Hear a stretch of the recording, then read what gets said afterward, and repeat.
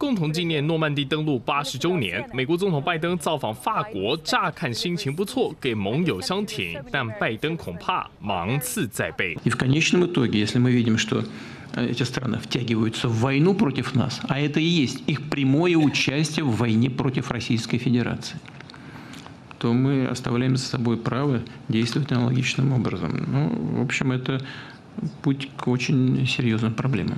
普京面对媒体大动肝火，全是因为乌克兰近期使用西方武器攻击俄罗斯境内基地，并成功打中俄罗斯 S 三百飞弹系统，让普京气得警告西方国家必定以牙还牙。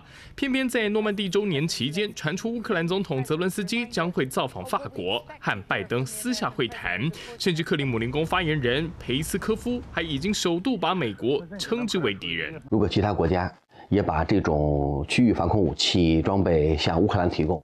那么今后在乌克兰境内针对俄罗斯空天部队打击行动将会多出一种手段。早在一年前，希腊就曾经计划向乌克兰提供 S 三百防空系统，即被视为是以恶制恶的侮辱。时隔一年，S 三百又直接被炸。Япония присоединилась к призывам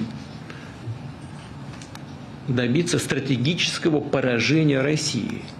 И вы думаете, что это хорошее условие для проведения договора, переговоров по мирному договору? 呛完美国，改呛日本，普京记者会上炮声隆隆，可以见得到底有多气。이자리에서푸틴대통령은한국이우크라이나에무기를직접공급하지않은점을높이평가한다며양국관계가악화하지않길바라고있다고밝혔습니다但相较之下，普京丢出诱因，称赞韩国没有找麻烦，同时还称做好准备恢复韩俄关系。